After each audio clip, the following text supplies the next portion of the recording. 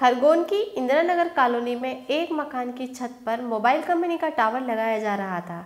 इस टावर को लगाए जाने का क्षेत्र के रहवासियों ने विरोध किया और एसडीएम को ज्ञापन सौंपा है। आपको बता दें कि इंदिरा नगर कॉलोनी में तथाकथित व्यक्ति द्वारा मकान की छत पर एयरटेल कंपनी का टावर लगवाने की बात पर रहवासियों ने आपत्ति ज़ाहिर की और एसडीएम कार्यालय जाकर ज्ञापन सौंपा।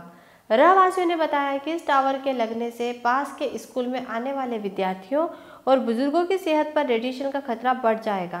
क्षेत्र के वासियों ने कॉलोनी में इस टावर को लगाए जाने पर रोक लगाने की मांग की है। खरगोन से जयंत गुप्ता की रिपोर्ट। को लेकर ये ज्ञापन दिया आपने? हम लोग जो है ये निजी कंपनी द्वारा या एयरटेल कंपनी द्वारा टावर लगाया जा रहा है छत पर। वो मकान मालिक है शंकर पिता दगड़िया मकान वर्मा। जो कि वो मकान किराए पर दे करके नारायण दास कॉलोनी में निवास कर रहा है। और जब पब्लिक ने उनको को रोकने की कोशिश की तो वो बोले तुम्हारे से जो बने वो कर लो।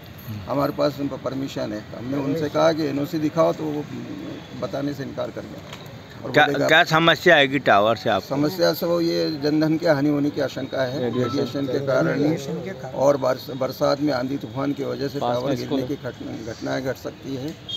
पास में विद्यालय है। अध्ययनरत बच्चे हैं तो ये जनधन के हानि को देखते हुए और रेडिएशन की समस्या को देखते हुए इसको जो है के मरीज़ भी हूँ मैं पड़ोसी हूँ। और पड़ोस में वृद्ध लोग हैं रिटायर्ड टीचर लोग हैं वृद्ध महिलाएँ हैं कोरोना कोरोना पीरियड चल रहा है तो हम लोग चाहते हैं कि इस कोविड के, माहौल को देखते हुए ये अनावश्यक प्रकार इस प्रकार के जो है निर्माण कार्यों पर गतिविधि पर बंद रोक लगी जाए। क्या नाम है आपका? मैं शोभाराम रावल।